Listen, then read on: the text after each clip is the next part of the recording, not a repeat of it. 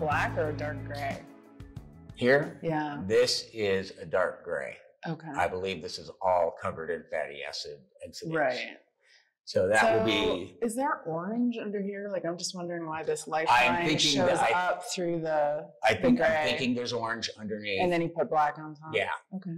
Given the vintage of this painting, he was still little details like that. It's not uncommon that he extended this originally and then ended this Right. and then flipped it around Right. in Oh. terms of technique. And there's white in here too. I mean, he tried to break it up even more than this large Mm. swath.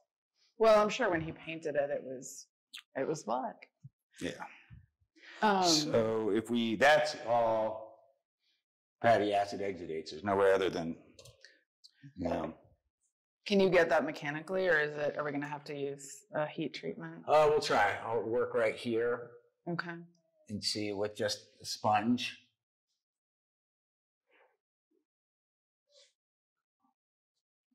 A little bit. Yeah, I mean, it comes off a little bit. It's like pH 11, where I had to do several campaigns. Yeah, you sort of take off what you can, and you want to take it off anyway, as you know, because it's it will always come back. So if we're physically taking material off, we're functionally changing No, it, I- equal whatever yeah, of it all. So, so that's this what it was to this with the, just a sponge mechanical removal, which isn't horrible. Keeps the picture a little bit more in balance with the white because it's not as dark. But let's test this to see how dark it goes. Okay.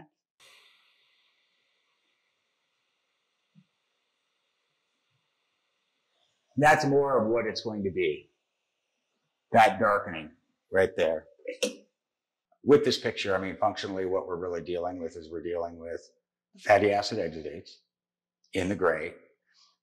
The ramifications, of course, is that we all, both of us understand how much darker that's going to get, and it's going to Yeah. completely transform this picture to from what everybody its cultural perception right now is.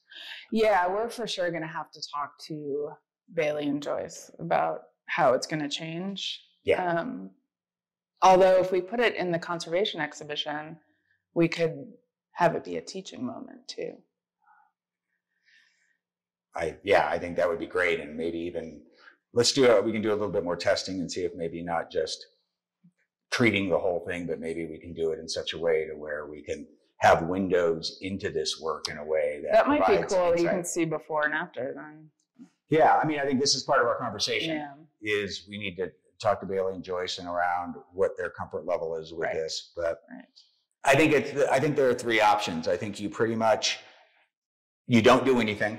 Okay. You accept it as is, though that would not be my first choice. No, me either. Uh, or you go into basically, you can sort of deal with only the fatty acid exudate component of it because that's obvious. right.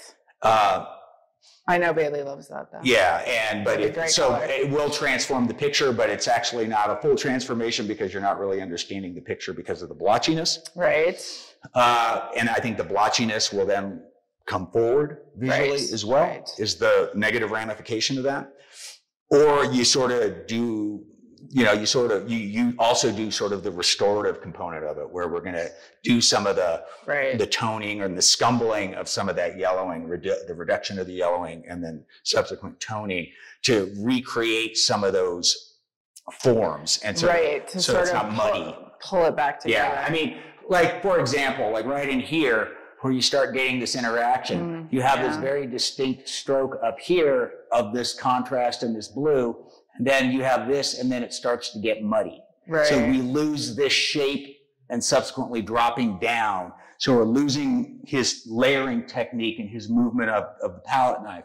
But if we simply scumble through this and sort of Join it together. yeah, with the mind of looking at brush strokes right. when you're doing that sort of And if you do, if you do the minimum necessary to sort of tie it back together, that's the idea that's the idea and it again may, it might not be so.